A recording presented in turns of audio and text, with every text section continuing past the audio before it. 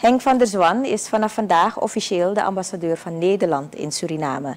Hij heeft vanmorgen zijn geloofsbrieven aangeboden aan president Chandrika Persat Santokhi. Het was een korte plechtigheid waarna de ambassadeur de pers te woord stond. Van der Zwan gaf aan dat het aanbieden van de geloofsbrieven een bijzonder moment voor hem was. Hij zei dat Suriname en Nederland intensiever zullen samenwerken aan diverse projecten. De belangrijkste punten, ja, dat is eigenlijk volledig herstel van de diplomatieke betrekkingen zoals we die jaren gehad hebben. En die zijn onderbroken geweest gedurende enkele jaren. Nu zijn we weer op het hoogste niveau hier vertegenwoordigd. Suriname is ook sinds vandaag op het hoogste niveau in Den Haag weer vertegenwoordigd. Daar zijn we heel erg blij mee.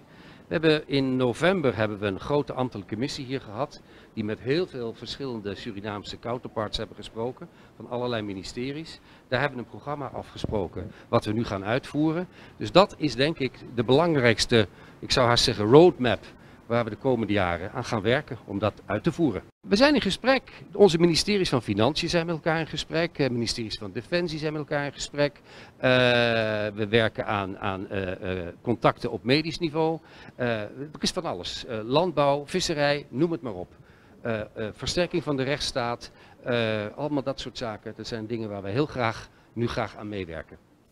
De ambassadeur gaf verder aan dat de regeringen van Suriname en Nederland met elkaar zullen moeten afstemmen over een eventueel bezoek van koning Willem-Alexander aan ons land.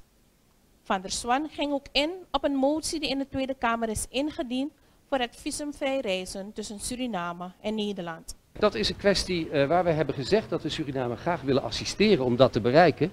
En ik zeg met name willen assisteren, want wij gaan daar niet over. Nederland gaat daar niet over. U weet, wij zitten in een, een EU-Schengen gebied, waar we ook EU-Schengen-visa hebben.